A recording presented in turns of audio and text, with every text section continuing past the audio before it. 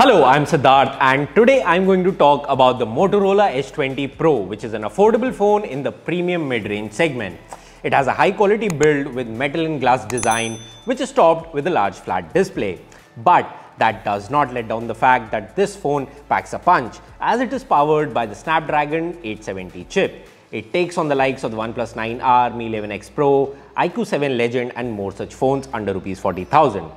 I tested the Motorola Edge20 Pro to benchmark its gaming and performance in day-to-day -day life. So if you are someone who is looking to buy a phone under Rs 40,000, here's how the Edge20 Pro fares against the competition. The Motorola Edge20 Pro gives tough competition to the OnePlus 9R, even though both phones are powered by the same chipset. The Qualcomm Snapdragon 870 chipset has an octa-core CPU with a 3.2 GHz prime core, 3 performance cores and 4 power-efficient cores. This is paired with the Adreno 650 GPU, 8GB RAM with 128GB storage. There are not a lot of stock Android options available in this price range, which is where the Edge20 Pro comes in as it runs on stock Android 11 and a largely untouched UI. The animations are smooth and look even better when the default refresh rate is set to 144Hz as it makes the whole experience much more fluid. This is a fairly large phone with an equally large display, which is what makes it a compelling option for people who watch a lot of movies and videos on their phones or those who play games on their phones regularly. The display has a 576Hz touch latency rate, which means it can register touch inputs at very fast speeds and anybody who plays games will endorse the importance of a fast touch response rate.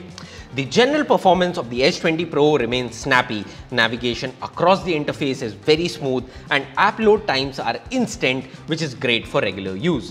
When it comes to synthetic benchmarks, the Motorola Edge20 Pro got high scores on Antutu where it crushed the OnePlus 9R and in Geekbench where it got respectable scores in single core and multi-core tests. The Edge20 Pro got over 14,000 points in PCMark work test which grades the performance of a phone by running browsing, video editing, photo editing and many more workloads.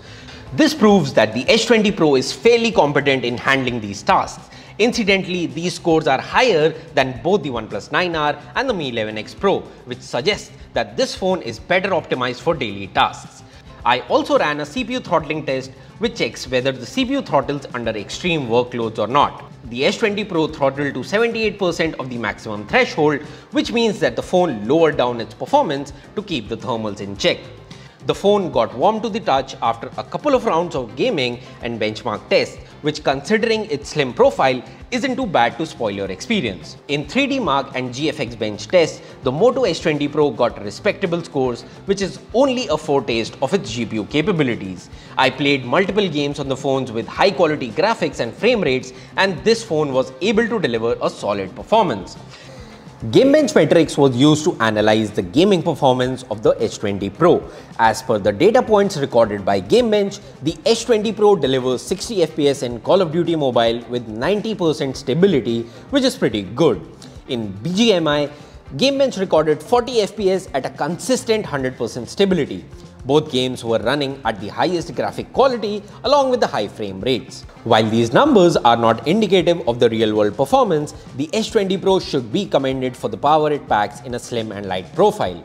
My gaming experience on the Edge20 Pro was amazing combined with a great display and a large screen estate though I was left wanting more in the audio department where we just get a bottom firing speaker unit.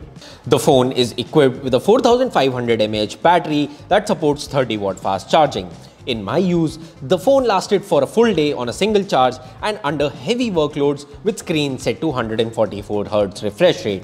In general use, you will be able to get more from the battery with mixed workloads. It also supports 30 watt fast charging and manages to fully charge the phone in an hour and 18 minutes. The Motorola Edge20 Pro offers great performance at its asking price and brings the goodness of stock Android with it. Add to the fact that it is so slim and still packs a punch is a proof of Motorola's capability in giving us affordable flagships. The Edge20 Pro is a great and much more powerful alternative to the OnePlus 9R and delivers a solid gaming performance. If you are looking for a phone and do not play games often, you will be surprised at the sustained performance of the Edge20 Pro over time. And if you play games like Call of Duty Mobile and BGMI, you're sure to enjoy the holistic experience that this phone offers. For its asking price, the Edge20 Pro is a good deal, which isn't to say you cannot get a better deal.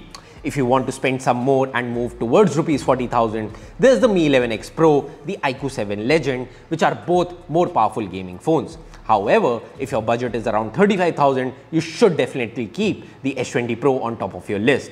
So that was our gaming and performance review of the Motorola Edge20 Pro.